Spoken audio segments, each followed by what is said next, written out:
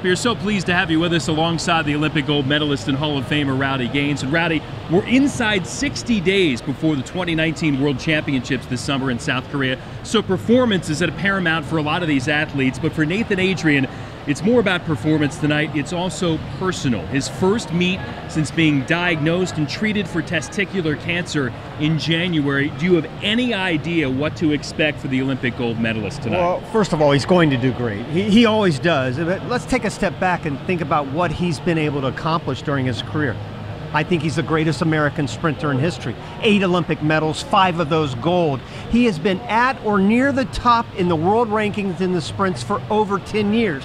All of that is great, but I also think he's the greatest leader that this American men's swim team has ever seen in and out of the water. He is a true sense of the word gracious, humble, everything you want to see in a swimmer in and out of the water.